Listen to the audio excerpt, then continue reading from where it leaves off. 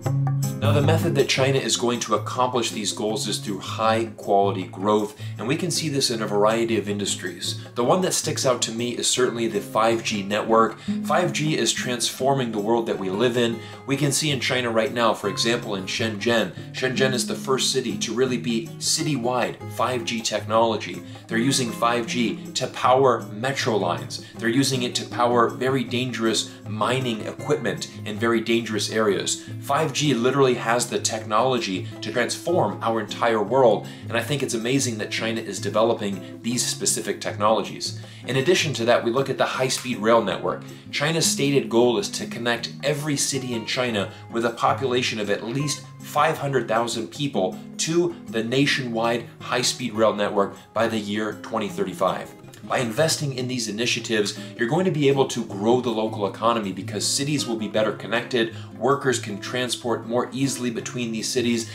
and the local economy will certainly grow and develop because of these investments into important things like infrastructure and high quality growth.